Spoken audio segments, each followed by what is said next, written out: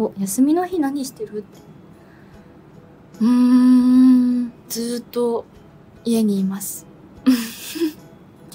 めなんかめっちゃインドア派なんですよ。なのでずっと家にいますね。はい。まあ意外かもしれないんですけど。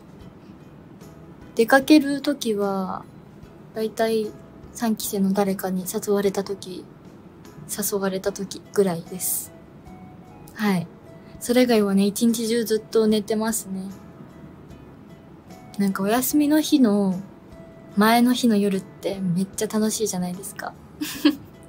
私めっちゃ好きで明日休みっていう気持ちを持ったまま夜にちょっとねまあその前の日はいいかなってことでアイス食べたりして絵描いたりとかして夜中過ごしてます。